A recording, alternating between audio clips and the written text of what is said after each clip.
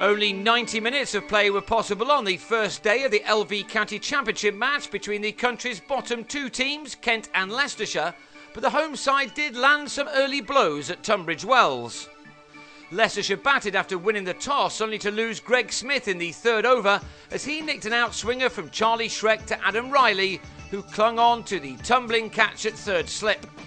Smith was gone with just six runs on the board, but not for the first time this season Leicestershire's top order was helped by Ned Eckersley. He especially enjoyed facing Shreck for the most part, as he soon got his innings moving with a number of crisp boundaries.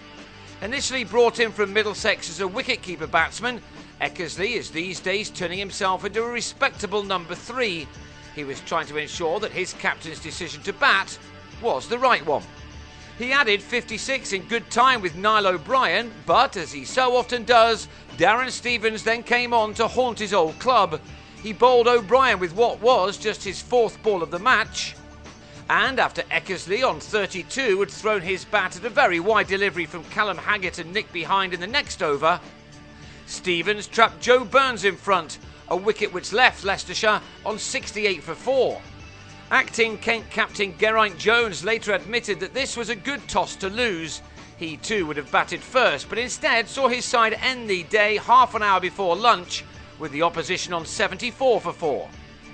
Only 22 and a half overs were possible, but the better news is that the weather is due to improve over the next couple of days to please the folk at the 101st Tunbridge Wells Festival Week.